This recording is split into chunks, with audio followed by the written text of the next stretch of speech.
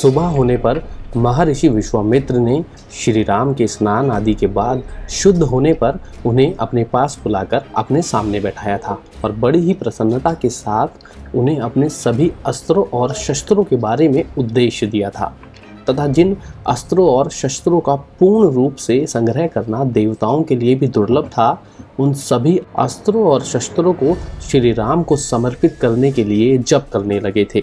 महर्षि विश्वामित्र के जप करने से वह सभी प्रजापति कुशाश्व के पुत्र, परम पूज्य दिव्य अस्त्र भगवान श्री राम के सामने प्रकट हो गए थे और हाथ जोड़कर भगवान श्री राम से यह बोले थे कि, हे रघुनंदन, हम सभी आपके अधीन हैं।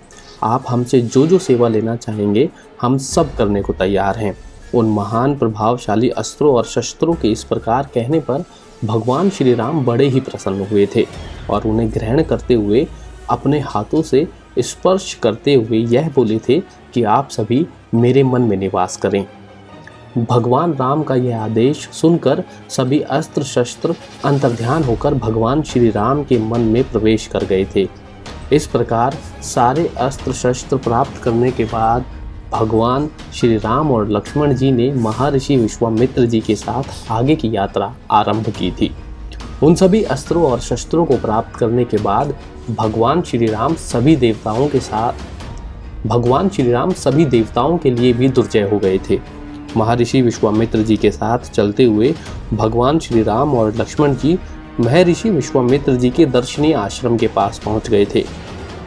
महर्षि विश्वामित्र जी के उस रोमांचकारी आश्रम को देखकर भगवान श्री राम ने महर्षि से यह पूछा था कि भगवान यह सघन वृक्षों, मृगों तथा मधुर शब्दों वाले पक्षियों से भरा हुआ मनोहर आश्रम किसका है?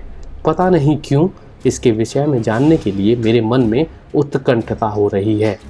तब महर्षि विश्वामित्र जी ने श्री राम और लक्ष्मण जी को उस आश्रम के बारे में बताते हुए यह कहा था कि पूर्व काल में भगवान विष्णु जी ने सौ युगों तक तपस्या करते हुए इस आश्रम में निवास किया था।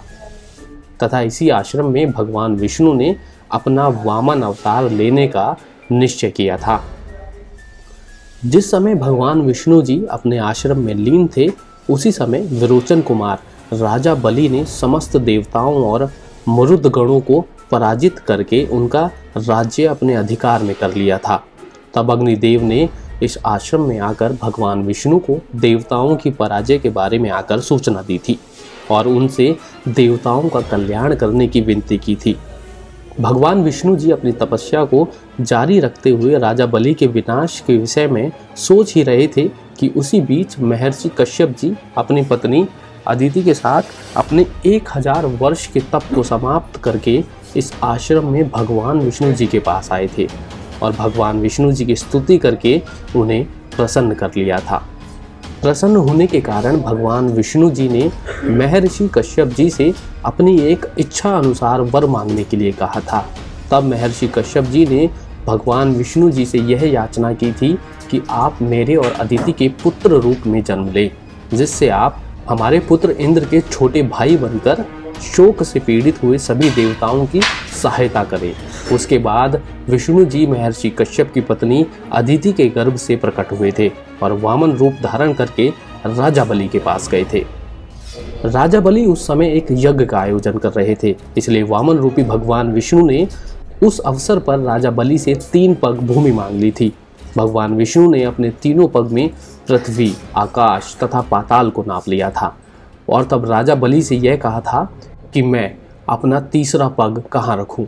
भगवान विष्णु जी का वो विकराल रूप देखकर राजा बलि उनके सामने नतमस्तक होकर बैठ गए थे और उनसे यह विनती की थी कि वह अपना तीसरा पग उसके मस्तक पर रख दे।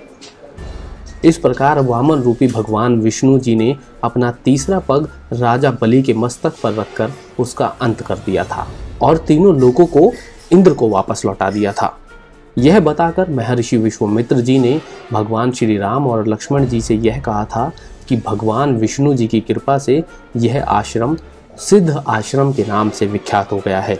यह आश्रम सभी प्रकार के दुख और शोक का नाश करने वाला है।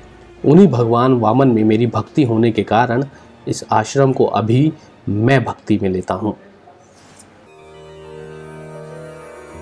रामं नमामि